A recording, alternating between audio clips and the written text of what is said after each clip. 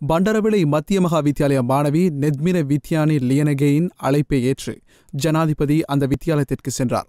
இதன்போது பாடசாலை வளாகத்தில் உள்ள ரணவீரு நினைவு தூவிக்கு மலரஞ்சலி செலுத்திய ஜனாதிபதி நினைவு பலகையை திரைநீக்கம் செய்து புதிய மூன்று மாடி கட்டடத்தை மாணவர்களிடம் கையளித்தார்.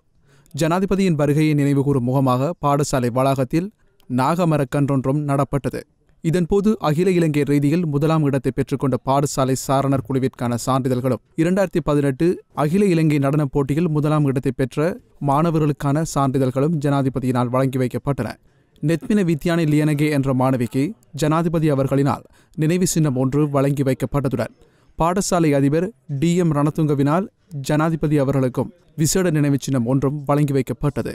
இதன்போது ஜனாதிபதி மாணவர்கள் மத்தியில் உரையாற்றுகையில் விஸ்வவித்யாலய අලුත් දරුවන්ට දුන් නවකවදය දැඩ්ඩි අමානුෂිකයි.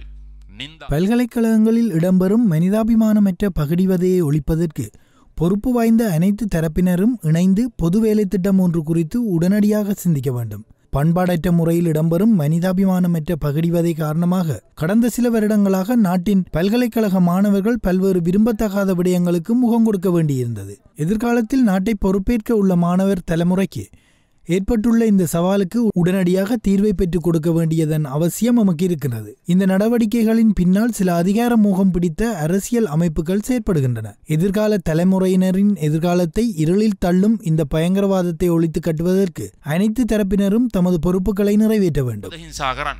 මේ අවුරුද්දේන අලුත් දරුවන්ට මේට අවුරු දෙකට කලින් ගිය දරුවන්ගේම කොටසක් නේද මේ දේ කරන්න. அமைச்சர் ஹரின் பெர்னாண்டோ ராஜாங்க அமைச்சர் லக்ஷ்மண் செனவிரத்ன டிலான் பெரேரா ஊவா மாகாண ஆளுநர் ஆரிய பி. ரெக்கவ முதலமைச்சர் சாமர சம்பத் தசாநாயக்க முன்னாள் பாராளுமன்ற உறுப்பினர் ரோஹண புஷ்பகுமார மாவட்ட செயலாளர் எம்பி புஷ்பகுமார ஆகியோர் இந்த நிகழ்வில் கலந்து கொண்டனர்.